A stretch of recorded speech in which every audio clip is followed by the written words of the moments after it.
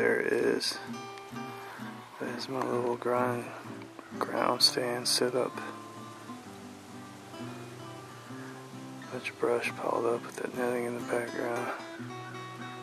Works out pretty good.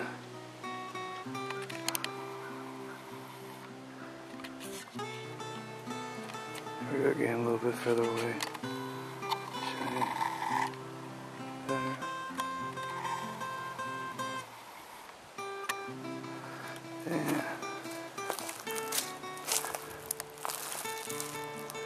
One feeder. And the other is behind the tree. Right there.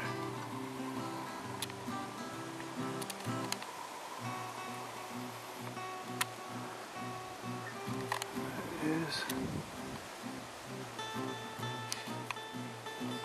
So there you go. Up close.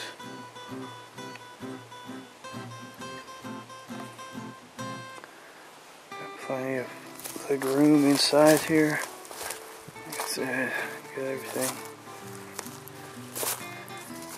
Lots of leg room.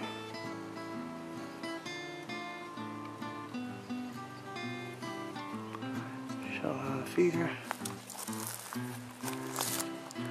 And the shell over there. I got, I got to move on that one.